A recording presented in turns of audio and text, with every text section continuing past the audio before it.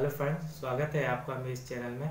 आज मैं आपको बताऊँगा कि Tally E R P nine में सेल रिटर्न यानी क्रेडिट नोट कैसे करते हैं और उसकी एंट्री कैसे पास करते हैं, उसका कैसे लेजर बनाते हैं और उसको कहाँ पर देखते हैं। तो चलिए आज वीडियो को स्टार्ट कर लेते हैं। कि सेल रिटर्न यानी क्रेडिट नोट की हम कैसे एंट्री करते हैं, यानी कोई हमारा माल अगर ख़राब है तो हमें उसकी एंट्री हम कैसे पास करते हैं टैली में तो आइए चलिए स्टार्ट कर लेते हैं। सबसे पहले आपको F11 प्रेस करना है। इसके बाद आपको अकाउंटिंग फीचर्स में जाना है। इसके बाद आपको ये ऑप्शन है use debit and credit note इस पर आपको यस करना है। यस करने के बाद आपको नीचे वाला जो ऑप्शन है record credit note in invoice mode इसको भी यस कर देना है। और तीसरे वाले ऑप्शन को आप नो कर सकते हैं। कि अगले चैप्टर में आपको डेबिट नोट बताऊँगा, वो तब आप इसको यस कर लीजिएगा। और आप अगर तीनों यस कर लेंगे तो भी कोई दिक्कत नहीं है। इसके आप फिर एंटर एंटर करके सेव कर दीजिएगा। इसके बाद आपको बैक आना है गेट वे ऑफ़ टैली में आना है। इसके बाद आपको अकाउंट इन्फो लेजर क्रिएट यहाँ पर आपको बनाना है सेल रिटर्न के नाम से। सेल रिटर्न डबल एंटर करेंगे, फिर यहाँ पर लिस्ट खुल जाएगी। यहाँ पर आपको सेल्स अकाउंट में डालना है। सेल और सेल रिटर्न दोनों सेल्स अकाउंट का हिस्सा है तो आपको इसमें ही डालना है। इसको फिर आप सिंपली सेव कर दीजिएगा। अब आपको क्या करना है? अब आपको बैक करके अकाउंटिंग बाउचर में जाना है। अकाउंटिंग बाउचर में जाने के बाद आपको इसमें कंट्रोल एफ़ प्रेस करना है। कंट्रोल एफ़ प्रेस करेंगे तो यहाँ पर क्रेडिट नोट आपका लिखा आ जाएगा, यानी कि आपका ये क्रेडिट नोट बाउचर खुल गया।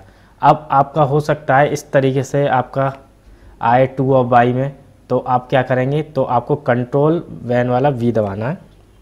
इसके बाद आपका इस तरीके से नेम ऑफ़ आइटम वाला बॉक्स खुल जाएगा।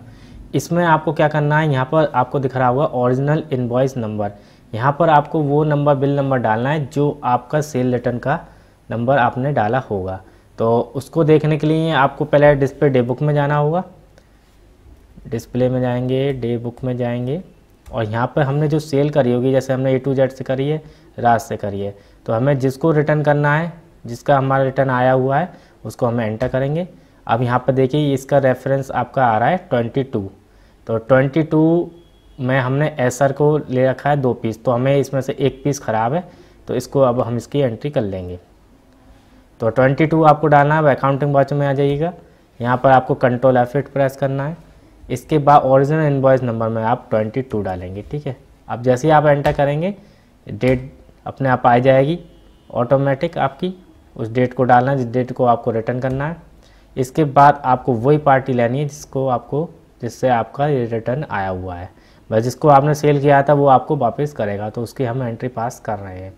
यहाँ हम ले लेंगे राज। राज लेने के बाद आपको यहाँ पर दो ऑप्शन आएँगे सेल तो अब तक सेल का आपका आता था, अब आपको सेल रिटर्न आएगा। तो आपको यहाँ ध्यान रखना है सेल रिटर्न ही यहाँ पर लेना है।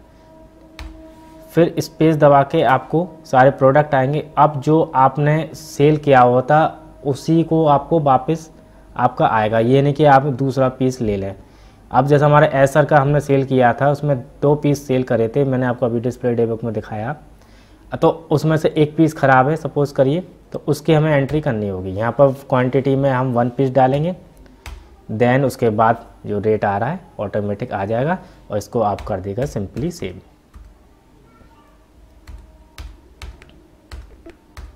ये आपका रिटर्न हो गया।